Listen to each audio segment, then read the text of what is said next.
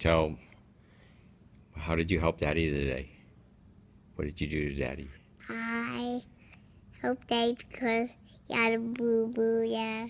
Yeah, and he can't move, right?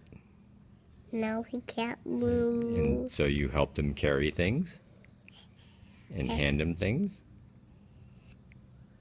What else did you do? And I grabbed him things. Yeah, and did you kiss his buoys, boo boos, and owies? And are they better? Yeah. Oh. And and how do we snuggle with Daddy now? We snuggle, stay carefully now. Yeah, that's right. That's right. But he still definitely wants to be snuggled with. He likes being snuggled with, particularly with Charlie. Hmm? What else, Charlie? And did you did you uh, did you lose your sushi?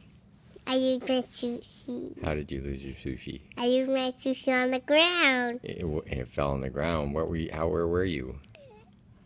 I was I was at sushi, eating my sushi. Yeah. And then who ate the sushi off the ground?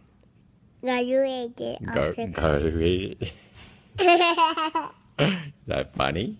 That's funny. Uh huh.